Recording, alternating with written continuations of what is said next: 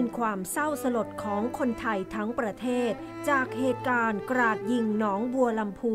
โดยฝีมือปีศาจร้ายสิบตำรวจเอกปัญญาคำราบ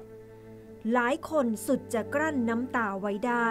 เมื่อได้เห็นภาพบรรยากาศเมื่อครั้งมีชีวิตของเด็กๆ และคุณครู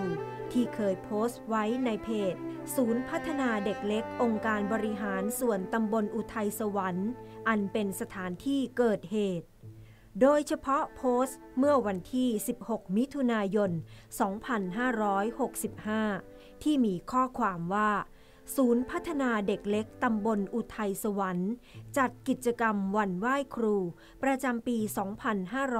2565 เพื่อให้เด็กๆ ได้แสดงออกถึงความรักต่อคุณครู และผู้ดูแลเด็กพร้อมภาพประกอบบรรยากาศการไหว้ครูของหนูน้อยจำนวนกว่า 20 ภาพ โพสต์ดังกล่าว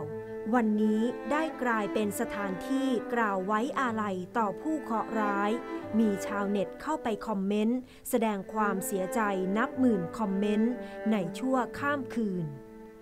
ทีมงานถอนหมุดข่าว ขอนำบางส่วนมาถ่ายทอดไว้ณที่นี้ คอมเมนต์แรกกล่าวว่า หวังว่าเมื่อพวกหนูตื่น พวกหนูจะได้อยู่ในอ้อมกอดของเหล่านางฟ้าและเทวดาใจดี ไม่ต้องเจ็บปวดเสียใจ ได้อยู่ในที่ปลอดภัย และสงบสุขนะลูก อีกคนกล่าวว่า หัวอกของคนเป็นแม่คงเจ็บปวดเจียนตาย สะเทือนใจ เศร้าสลดใจ และดิ่งมากกับเหตุการณ์ครั้งนี้ ไปวิ่งเล่นด้วยกันบนสวรรค์นะลูก ขอแสดงความเสียใจกับพ่อแม่ครอบครัวด้วยค่ะ อีกคนกล่าวว่า เป็นครั้งแรกในรอบหลายหลายปีที่ฉันเสียน้ำตา ตั้งแต่ในหลวงรอเก้าจากไป จนมาถึงวันนี้ ฉันเสียน้ำตาอีกครั้ง บุญใดที่ข้าพเจ้าได้กระทำด้วยกาย วาจา ใจก็ดี ขอให้ทุกๆคนไปสู่ภพภูมิที่ดีที่สุดด้วยเถิด อีกคนกล่าวว่า ขอให้ดวงวิญญาณหนูหนูๆและคุณครูทุกๆทท่านที่เสียชีวิต จงไปสู่ภพภูมิที่ดี เป็นนางฟ้าบนสวงสวรรค์นะครับ อีกคนกล่าวว่า ความเสียใจที่ยากเกินพันนา ชีวิตที่ใสบริสุทธิ์ของเด็กน้อย กับคุณครูผู้เสียสละ ความดีงามของทุกคนจะถูกจารึกตลอดไป อีกคอมเมนต์เขียนว่า ผมอายุ 25 ผมมีลูกสองคน ผมเข้าใจความรู้สึกทรมาน ความโศกเศร้าครั้งนี้ รอยยิ้มของลูก รอยยิ้มของคนรอบข้าง มันกลั้นน้ำตาไม่ไหวจริง ๆ บางคนบอกว่า เห็นภาพเซตนี้แล้ว เก็บน้ำตาไม่อยู่ เช่นเดียวกับคนต่อมากล่าวว่า เห็นภาพแล้วน้ำตาไหลออกมาเอง อีกคนกล่าวว่า ยิ่งเห็นภาพยิ่งสลดหดหูใจเหลือเกิน หลับให้สบายนะ เทวดานางฟ้า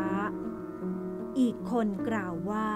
ใจหายค่ะ เด็กๆหน้าตาน่ารักมากๆ ยายขอให้หนูไปสู่ภพภูมิที่ดี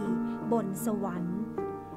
อีกคนซัดไปยังองค์กรตำรวจว่าเด็กคือผ้าขาวเขายังบริสุทธิ์ เขาไม่รู้อะไรเลย หนูเอ้ยเพราะไอเดนคนนรกองค์กรบาปตัวหนึ่ง กูว่ายังมีอีกเยอะจับมาขายเองทำด้วยกัน อีกคอมเมนต์ระบุว่าทำใจไม่ได้เลยลูก ถึงป้าไม่เคยรู้จักพวกหนู มาดูรูปของหนูแล้ว ป้าร้องไห้ไม่หยุดเลย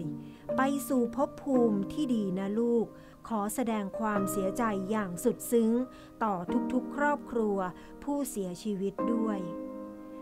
คอมเมนต์ถัดมาระบุว่า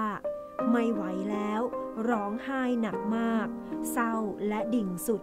ขอให้คุณครูและน้องที่เสียไป สู่สุขติ ยิ่งเห็นรูปเด็กๆที่มีความสุขทำใจไม่ได้เลย อีกคอมเมนต์เป็นภาษาอีสาน รับบ่ได้สะเทือนใจคักพี่น้องเอ้ยเสียใจนำเด้อขอให้ลูกหลานไปเป็นเทวดาอยู่บนสวรรค์กันทุกคนเด้อลูกเด้ออีกคนกล่าวว่า โคตรบีบหัวใจ ส่วนตัวยังไม่มีลูก แต่รับรู้ได้ถึงความเจ็บปวดของคนเป็นแม่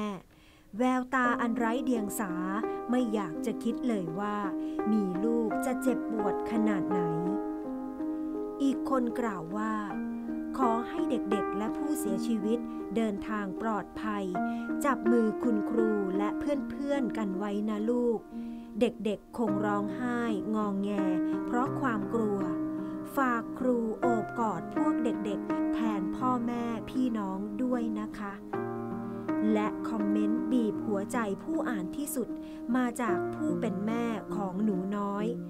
ประแป้งแล้วนอนหลับพักผ่อนสนะลูก น้องภูเบศแม่ขอให้หนูไปเจอโลกที่ดี เจอคนดีๆ นะลูก ไม่ต้องกลัวนะลูก หนูแค่หลับไป